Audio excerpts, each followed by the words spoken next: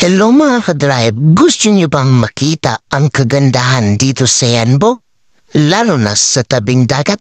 Tara, samahan niyo ako at mamasyal tayo dito sa Papamon Drive.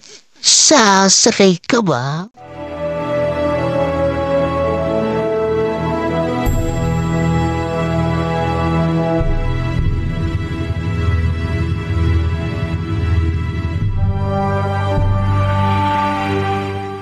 Ito na nga ang kagandahan dito sa Yanbo, lalo na dito sa tabing dagat.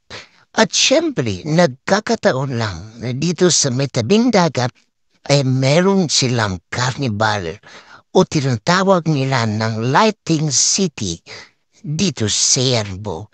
Kaya huwag kayong alis dyan dahil maya-maya ay papasok na kami dahil manonood kami ng mga rides pero pansamantala ay dito muna kami sa may tabing dagat upang aming panuorin ang pag-sunset ng araw. Kaya samahan niyo kami, huwag kayong bibitaw dito sa Papamod Drive. Sasakay ka ba? At ito na mga ka-drive, sa tabing dagat, mayroong mga ibon na lumilipad Nakita niyo ba? Di ba? Alam niyo kung ano ang ginagawa nila dyan. Siyempre, nangunguha sila ng pagkain dahil siyempre, nagugutom na sila. At hindi lang yan, pati kami ay nagutom na rin. Kaya sa panahong ito, dito kami umiikot naghahanap ng makainan. Kaya mga ka-drive, kung gusto niyong kumain, mag-comment down below kung na natin kung ano ang inyong order. Kaya, eto na, ang daming mga pagkain na nakalagay dito sa carnival na to. Kaya feeling namin hindi kami magugutom dahil sa mga paninda.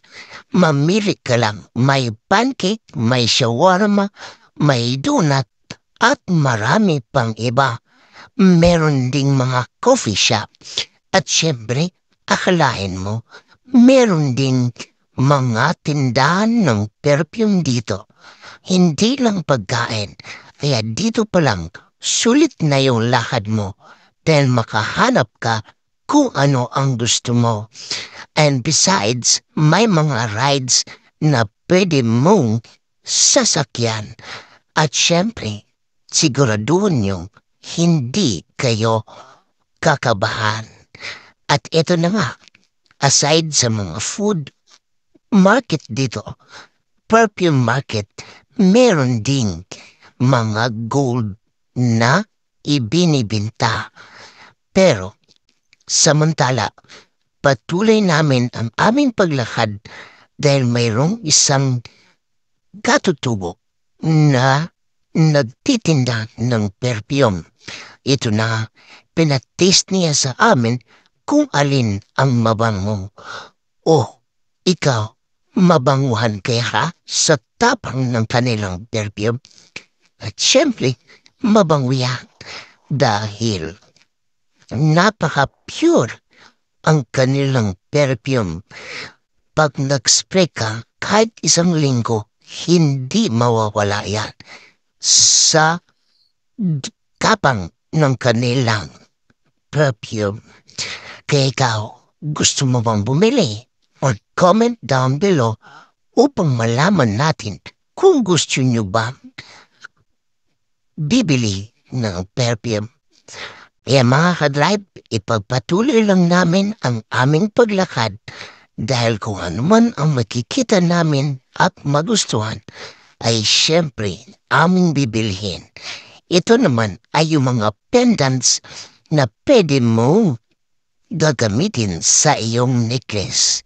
At wait mga ka-tribe, meron dito na, na titinda ng mga vegetarian food o vegetarian? Tama ba yung sinabi ko?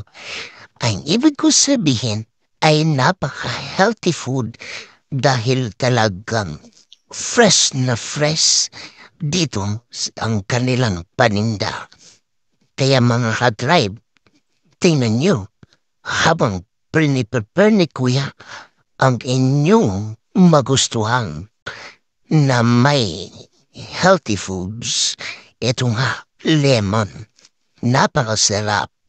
Kaya si Kuya ay nako, siguradong tataba siya sa kanyang niluluto dahil kami nga nasarapan. Paano lang siya? Eh mga kadrive, oh, may nalala ba kayo? Tumaliit pa kayo? Naranyasan niyo ba to ng lamparilya na to? Ayan, makudin, nung kunang panahon, kitang-kita ko na to. Kasi, syempre, mga walang ilaw, minsan napuputol ang ilaw, minsan ay, syempre, walang ilaw, ganun. So, papatuloy natin. Oh, may nakita kami uli ditong perfume. Hay nako, naamoy na amoy ko ang bango. Heto na mga kadrive sa pagpatuloy ng ating pag-ikot dito sa Carnival. Aside sa mga perfume ang aming nakikita ay mat iba-ibang paninda lalo na sa mga tindahan na to. Hindi mo alam kung ano ba yan.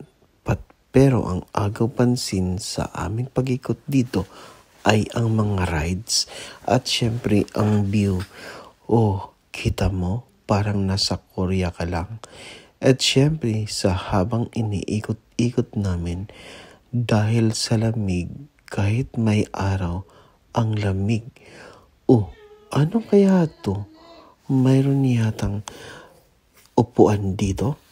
Uy, ang ganda ng kanilang mga halaman dahil sigurado sa gabi may mga ilaw to. Itong rides na to, kaya mo bang sumakay? Nako, ako, nahihilo kaya ako sa paikot-ikot dito. Siyempre, mahangin, malamig. Ang tanong, kaya mo bang sumakay? Ang saya, di ba? So, ipapatuloy po namin ang aming paglalakay. Ang inabangan ko, ang rides na to, dahil nandun sila sa tuktok at mga kadrive. Ito na, tapos na ang rides nila.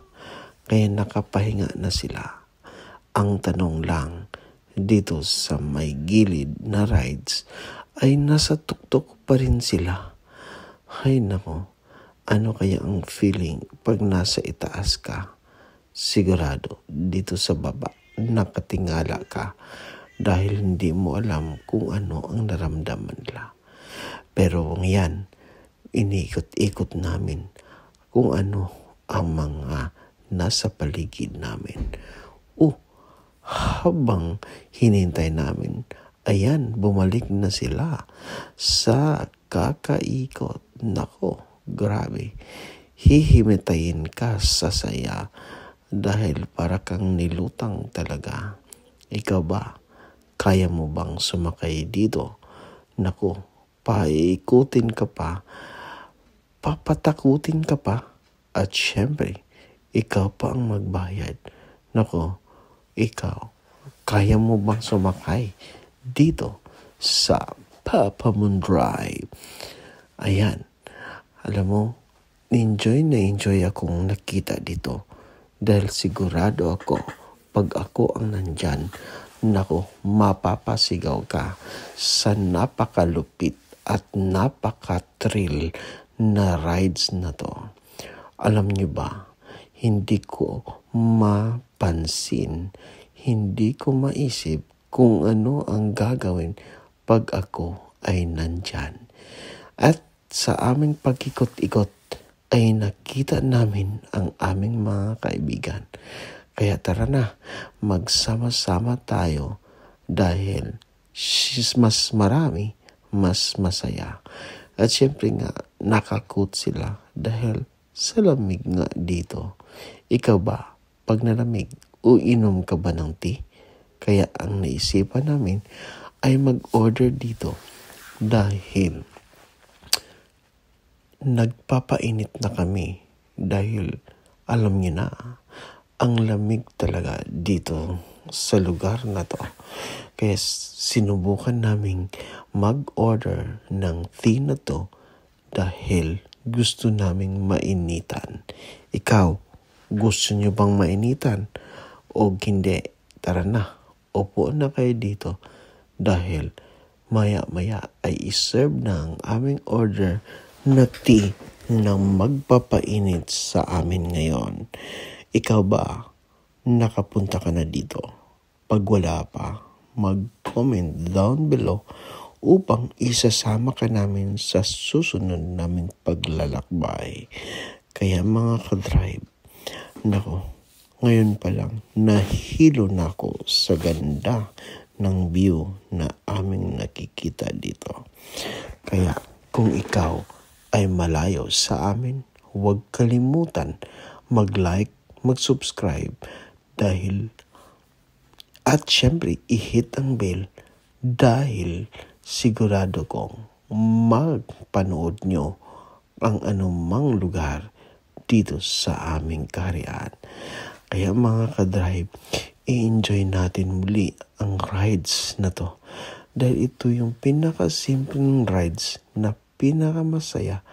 And for me, I think ito yung mas safe na sasakyan kaysa dong isang ride na sa taas tutok ka.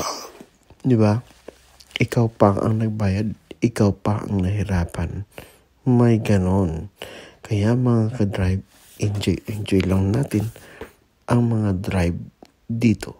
Ang mga rides na pwede natin mapantahan. Kaya mga ka-drive, alam nyo, hindi ko alam kung yung nagsumakay dyan ay nahihilo na ba. Kung hindi, nako, sigurado ko mayang-mayang gabi ay makapansin o maramdaman nila ang kanilang pagod. And yun ang mga ka-drive. Nandito na po kami uli sa napakalamig na area na para kang nasa Korea. Ikaw ba? Gusto niyo bang pumunta? Tara na. Huwag nang patagalin dahil hindi tayo dapat malamigan. O, di ba? Sa mga ka-drive, ipagpatuloy lang namin ang aming paglalakbay dahil alam ko gabing-gabi na at mas ma-emphasize natin ang mga ilaw dito dahil napakaganda, napaka-fantastic ang kanilang mga paghahanda. Kaya mga ka-drive, kung ano pa man ang gusto nyo at gusto niyo sa area nito, huwag magkalimutan mag-like, mag-subscribe